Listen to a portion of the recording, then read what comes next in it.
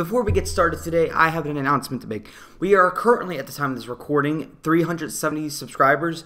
Please share this video. I'm hoping to get to 400 subs by the end of the year. And I have a poll on my Twitter, so go follow there. Right now, we have Dab for the first time, one more Fortnite stream, and Q&A are the only ones with votes, and then there's other uh, comment below with zero votes. So if you like any of those options, Dab for the first time, one more Fortnite stream, or Q&A, make sure you vote now.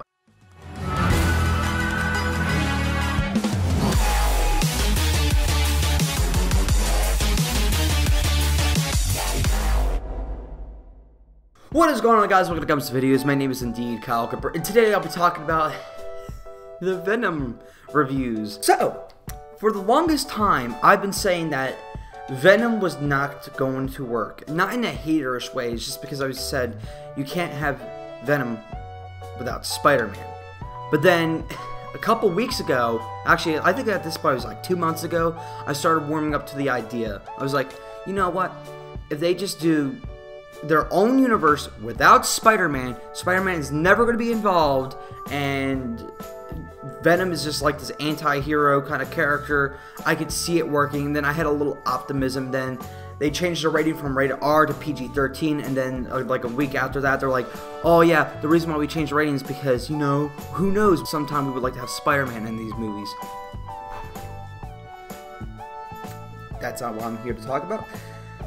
Then my faith went down. And then my faith went even lower when they said, basically, we're not gonna uh, let the review embargo be lifted until like two days before the movie's released. Pepe hands. That day was yesterday when they re uh, released the review embargo for certain people. Yikes. Venom is Catwoman level bad. I won't go that far, but yikes, that's tough, dude. With Tom Hardy's worst performance since This Means War, don't see the movie. To be fair, I didn't hate This Means War, but it was Tom Hardy's worst performance when it comes to acting. I'm fascinated with Venom. The cast seems to know that they're all in a darker superhero movie, except for Tom Hardy, who is basically remaking Jim Carrey's Liar Liar. I kind of loved watching this movie in a Rocky Horror type of way. At one point, Tom Hardy and Venom make out. Now listen. I don't even need to read anymore. There's two more, but I'm not even going to read them. You know why?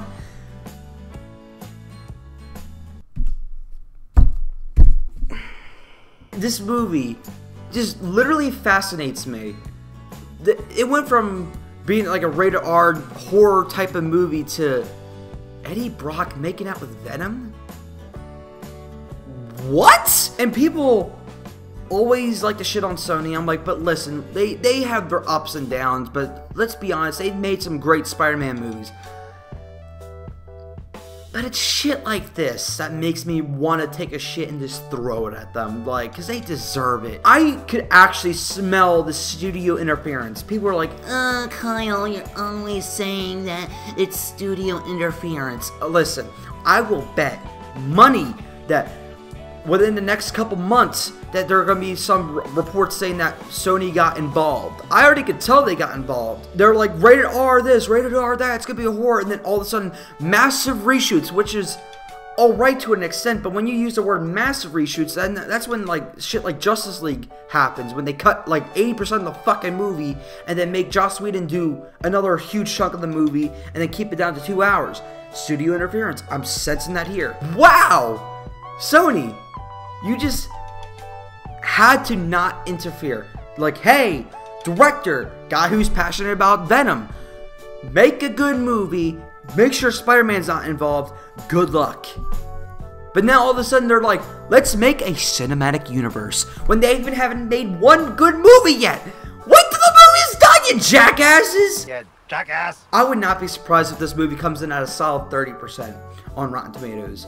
I'm telling you that the fans, it's going to be probably like around 50, 60. I'm sensing that. But the critics, I tend to agree with more.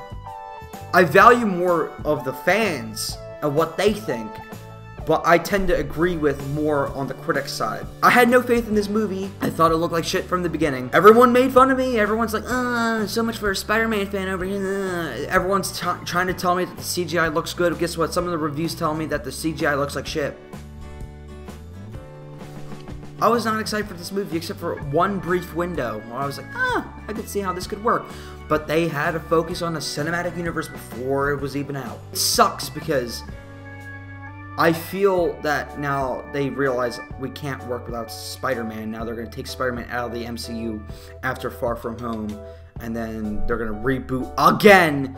If they fucking reboot again, I'm actually to have like no faith in any other Spider-Man movies. I'm probably it's it's to be tough for me. I'm to try not to support the new reboot if they do reboot, but I'm 90% sure that this bombs that it's to force Sony to take Spider-Man back, and I hope I hope they come to their senses. They're like, hey, our deal with uh, with Marvel's working out pretty well. Let's just stick with that. But I, no, it's Sony. That's not going to happen because they're a studio and they want money. So I have a Twitter, Instagram, Gumps underscore videos. Go follow me there for latest news and updates on my channel, guys. Make sure you, you subscribe to the channel, guys.